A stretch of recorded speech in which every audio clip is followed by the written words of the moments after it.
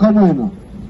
Brezilya donanmasına ait Sao Paulo diğer adıyla yüzen tehlikeli atık gemisi hepimizin bildiği üzere 4 Ağustos günü Brezilya'dan ayrılarak ülkemize doğru yola çıktı. Yola çıkışından bir gün sonra Brezilya mahkemeleri geminin limandan çıkışına yasak getirdi. Bu haber kamuoyunda geminin gelmeyeceği yönde yanlış bir algıya sebep oldu.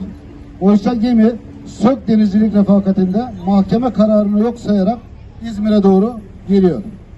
Firma aynı zamanda bu gemiyle ilgili transit ülkelere bildirim ve izin süresinde işletmeden tamamen hukuksuz, kanunsuz bir şekilde tüm uyarılarımıza rağmen Türkiye'de tehlikeli atık ithalinin yasak olduğunu bile bile ısrarla bizleri zehirlemek için yoluna devam ediyor.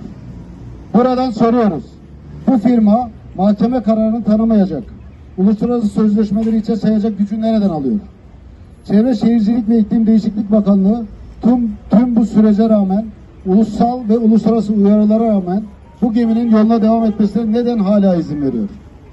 Ala'da İzmir Gündoğdu Meydanı'nda sosyal medyada dağıttığımız bildirilerde basına verdiğimiz röportajlarda topladığımız imzalarda sesimizi duyuraca- duyuracağımız her platformda aykırdı.